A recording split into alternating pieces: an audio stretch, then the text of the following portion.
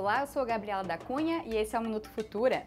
Um dos símbolos de identidade e de resistência dos negros maranhenses, o tambor de crioula agora conta com um espaço para preservação e divulgação. A Casa do Tambor de Crioula, inaugurada em São Luís, no Maranhão, oferece uma exposição permanente sobre esta dança circular feminina, que une canto e percussão. Além do centro de referência, uma biblioteca com ampla pesquisa histórica e técnica está disponível para o público. A ideia é incentivar novas pesquisas sobre esta expressão artística e cultural, que tem como um dos gestos característicos a umbigada.